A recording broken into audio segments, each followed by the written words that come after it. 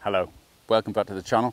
Today we're talking about length of swing and obviously club head speed and dispersion. Is it worth lengthening your swing for more club head speed at the cost of a bit more dispersion?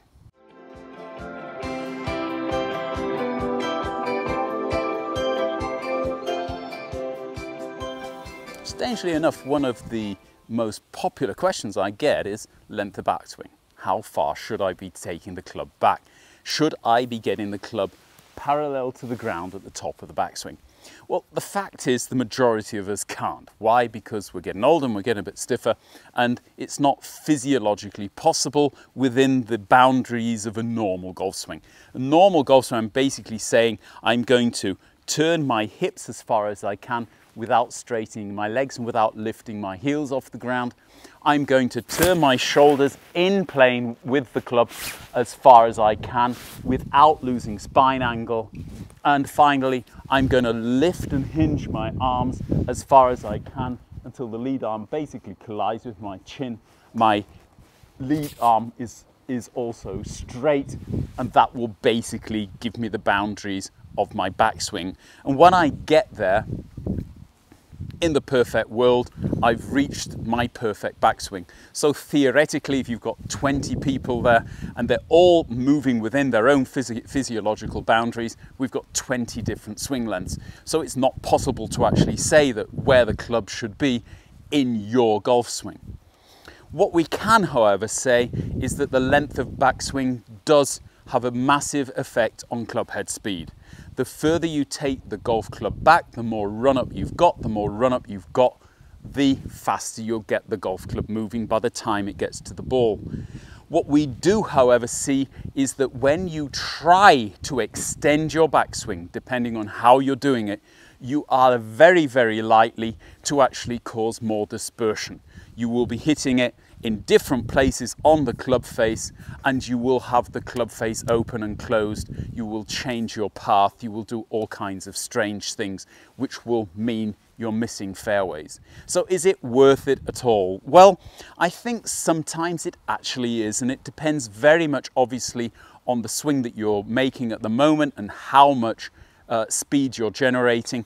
But I think in some cases you can make minor tweak which will actually help you, but I would only recommend one. Now, if we go back to the different systems in your swing, you can basically see that there isn't an awful lot that I can change in my shoulder rotation or in my arms to actually get more distance without making major concessions changing my spine angle can't really be a good thing in any golf swing. Bending my lead arm excessively or letting go of the golf club, twisting my wrists in a different way to get more backswing is going to change face angles, paths, and it's going to be very difficult to coordinate. However, in the lower body, especially your feet, there's a very, very simple thing that you can do to extend your swing, and that is simply to allow your lead heel to come off the ground at the top of your backswing. What's actually happening there is quite simply you are releasing the joint from the ground, which is allowing your lead hip to rotate a bit further. It will allow your trail hip to rotate back a little bit further and that will allow the, the shoulders to rotate further and the arms to get further back. Will that necessarily bring you a load more club head speed? Well, it depends how far you do it. And obviously the further you do it, the higher you lift your heel, the more that you rotate, then the more difficult it will be to coordinate in the backswing. The tricky bit, however, for me is doing it without losing axis. That means I don't want you wandering out of the center and I don't want you standing up. You are simply allowing the heel to come off the ground in order to get more rotation. You are not trying to get more lateral movement. You are not trying to get more height.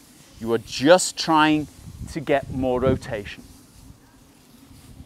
How much speed can you expect? Again, dependent first of all on the amount that you can actually coordinate and secondly, on your ability to coordinate the way back to the ball. That is really a little bit a question of your talent and obviously how much practice you do at this. But just to give you a bit of an idea, I'm going to hit some shots now, starting with a normal shot. We'll see how much club head speed I generate normally, and then we'll actually try lifting the heel more and more and see how much that actually helps me. So the first one, just keep the feet on the ground.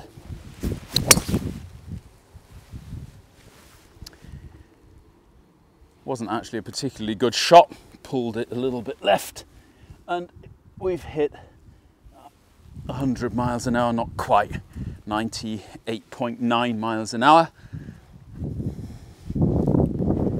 Can usually get a bit more going in that.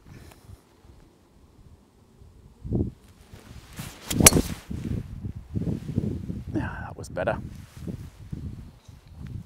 100.5 miles an hour, that will do us to start off with.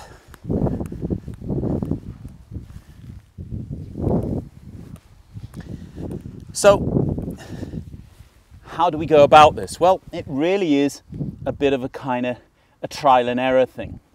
You've got to remember that when you do this, you might be changing other aspects of your delivery. You might change your angle of attack. You might change, obviously, that, then the dynamic loft. You might change your path. This is not something that you really want to do. However, I find that when I start to do this, I will start to hit up on the ball a little bit more. I will get a little bit higher launch and I will get a little bit lower spin. Usually because simply as I come back into the ball, I'm actually working a little bit more away from the ball unconsciously. It's not necessarily something I want to do, but it is seems to be something that happens to my swing when I start messing around with this. But let's give you an idea of what you can actually achieve. So this time I'm just going to let it come off the ground a little bit, the, the lead heel.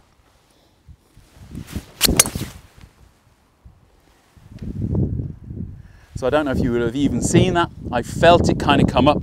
I've hit it slightly out of the toe, but it's more or less on the fairway, right hand side of the fairway, but it's definitely still there. And more or less the same speed, 100 miles an hour, not really changed. Let's give it a little bit more. So now I'm getting the feeling of it almost kind of getting back over my shoulder, almost could see the club head with my peripheral vision. It's unlikely that I will do that now when I actually hit the golf ball, although that will be my intention. Well, that's still down the middle, a little bit fadey felt more or less out of the centre of the club. Don't know how much further I took that one back. 102 miles an hour, so wow, we got a mile and a half. Now, obviously, I could do this in increments for the next couple of hours and it will bore you to death. So I'm going to go for a bit of a biggie. So now I really want to see the golf club out of the corner of my eye. I want the feeling of not only the heel coming up, but the the lead knee bending a little bit, getting that kind of feeling of kind of a little bit of a kind of a reverse tilt and wanting to kind of stay over the golf ball. Don't want to lose my position relative to the golf ball. Let's give it a go.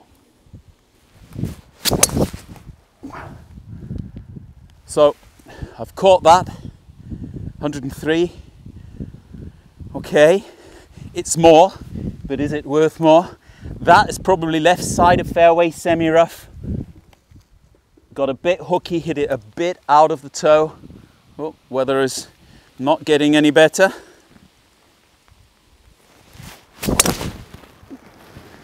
That's the right side of the fairway. No, it isn't. That's semi-rough right.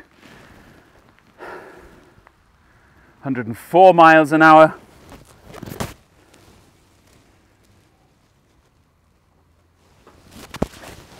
Also been a change really in my angle of attack there definitely probably off it a little bit. Felt the club face opening up there.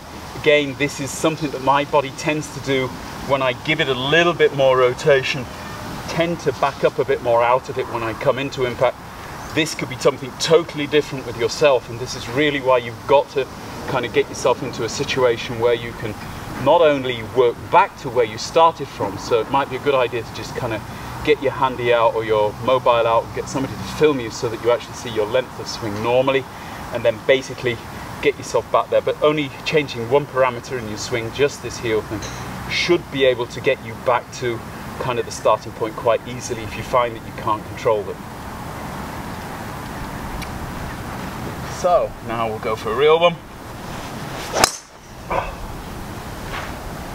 i've stayed over it, but I really got it a nice bottom heel there. So it's actually going to be on the fairway. It's actually 102 and a half, so it wasn't actually any any faster. And because of where I've hit it, it's going to be shorter.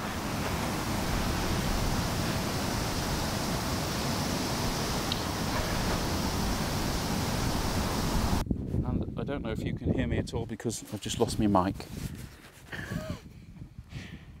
oh, it's a great game, isn't it? So in post, I'll have to find out when you lost my, I lost my mic and whether you've been able to hear a word I've been saying.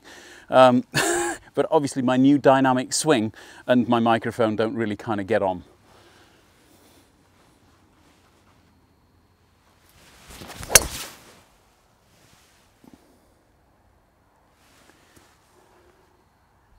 Left side of the fairway. 104. It's it, there's more work, there's more speed there. There's no doubt about it. But I really don't know where it's going. I think maybe I could probably get used to it. I could get it onto the fairway a bit more often if I was to practice it on a regular basis. Personally, I think if I were to just be a little bit more active generally, try and get myself, my entire body just working a bit quicker, get myself into a fitness studio, um, I might actually be able to generate this kind of club head speed without any kind of physical swing changes. Um, and that might actually be the way that I would go rather than lifting my heel. Um, however, I do this for a living, at least kind of in a, some form um, and I need my body to be able to make golf swings on a on a daily basis. For a hobby golfer who's getting down to the club a couple of times a week, for me to say now you've got to go join a join a fitness club and and get your body work, that might be okay for a young man who decides he wants to do it as a career. But for the majority of you, it's just going to be a step too far. So lifting your heel might be the only way that you're going to be able to generate a little bit more of club, club head speed um, without basically changing your swing entirely. On a note of caution, get yourself maybe a launch monitor as well and really check that you're hitting it further. You might well be able to generate more club head speed, whether that is being transferred into ball speed and whether the ball speed helps at all because if it's disappearing into the rough or into the trees, that's no help whatsoever because you're going to be taking more shots to get into the hole from there than you would do if you were 10 yards shorter on the fairway. We know though from strokes gained that distance is everything as far as strokes gained is concerned. The further you get down the fairway, the closer that your second shot is to the green, the less shots you're going to take in a round of golf. And obviously, if you're playing tournament golf on a regular basis over more than one round, then obviously that is most certainly going to save you shots if you can get a few extra yards out of the driver. Hope you liked it. If you did, as ever, please hit the like button. Don't forget to subscribe if you haven't done already. Um, I will be back very soon with the next video. Thanks again to all of my patrons. If you would like to support the channel, um, I shall leave a link below. Um, we couldn't get back as often without their support. And if you would like to support me, I'd be very grateful. Until then, bye-bye.